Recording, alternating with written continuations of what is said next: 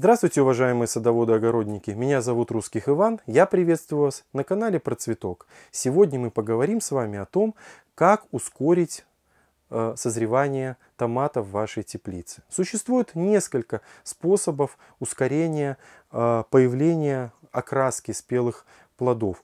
Зачем это иногда необходимо? Это необходимо тогда, когда вы используете достаточно поздние сорта томатов, а фитофторы не за горами, какие-то августовские туманы не за горами, а томаты у вас еще висят зеленые, а вам уже и хочется попробовать, и, и вы боитесь, что они могут попасть под волну фитофторы, Соответственно, вам хочется ускорить их созревание. А вот они висят и висят и висят и висят зеленые.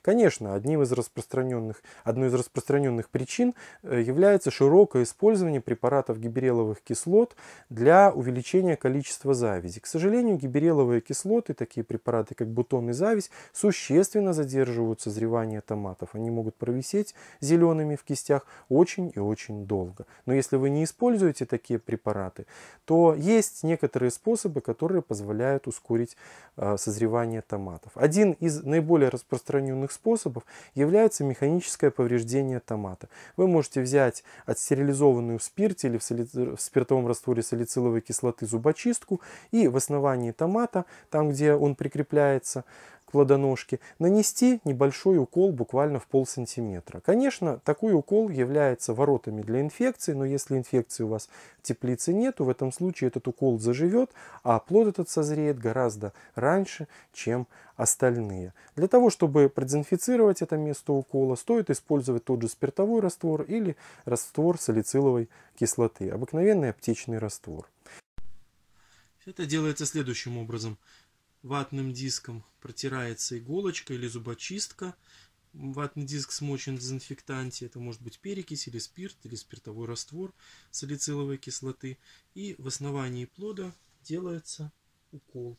Вот примерно вот на такую глубину. Если плод крупный, то можно сделать два укола. Конечно, надо продезинфицировать место укола, чтобы это не было воротами инфекции. И после каждого укола надо продезинфицировать и саму иголку.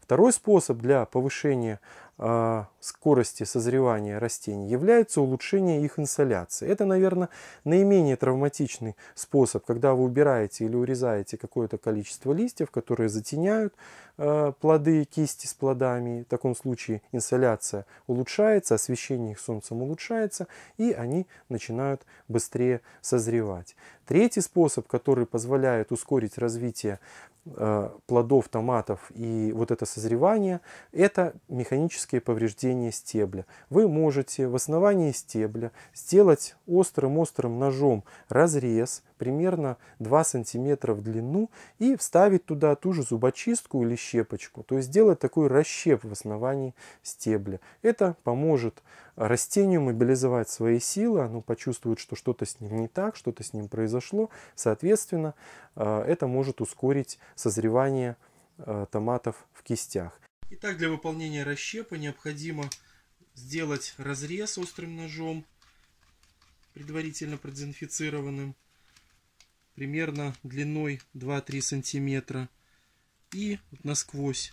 И после этого я туда, например, запихиваю вот такую вот просто металлическую проволочку, кусочек. Она будет немножечко там растворяться, будет, не будет, какое-то снабжение железа будет, но в любом случае это такая травматичная процедура, которая даст сигнал растению, чтобы питательные вещества из листьев перетекали в плоды. Еще один способ – это химическое такое повреждение растения, когда оно также попадает в какие-то очень стрессовые условия и начинается усиленный отток питательных веществ в томаты, усиливается их созревание, а ростовые процессы, наоборот, прекращаются. Ну, среди таких химических способов одним из наиболее распространенных является использование э, раствора поваренной соли. Стакан поваренной соли растворяется в ведре воды, и томаты опрыскиваются таким раствором. Альтернативой этому способу может стать использование спиртового раствора йода. Он тоже в таких относительно больших концентрациях э, повреждает растения, галогенизирует э, органические вещества в растении, соответственно, оно чувствует, что что-то происходит не так, прекращает рост и усиливает созревание. В этом случае вам надо взять 10-15 мл спиртового раствора йода, вымешать его в ведре воды и также обработать ваши растения. Но надо помнить, что вот эти последние химические методы и обработка солью, и обработка йодом приостановят рост и развитие растений, приостановят их рост, дальнейшее образование кистей, а все силы растений будут направлены исключительно на налив плодов и на э, созревание плодов. Соответственно, этим способом можно пользоваться только в самом конце вегетации. Ну вот и еще один способ ускорения созревания томатов. Такой довольно радикальный. Он хорошо может применяться уже в конце сезона, когда уже шансов, что растения дозарятся, дозарят томаты на корню нету. Вот я взял растение и обработал его раствором сульфата магния. Его можно купить в аптеке, он также продается в магазинах для садоводства.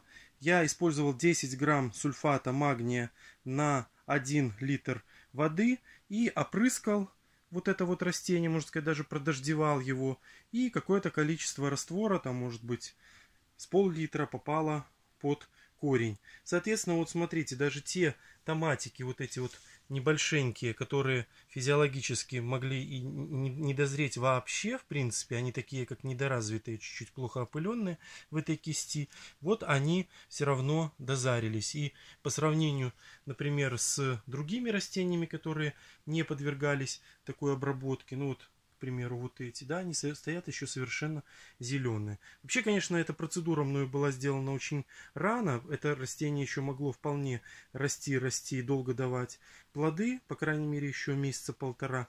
Но просто вот для демонстрации, для эксперимента я сделал такую обработку, и она действительно оказалась совершенно успешной. Надеюсь, эти советы помогут вам получить хороший, богатый и здоровый урожай. Всего хорошего! Thank you.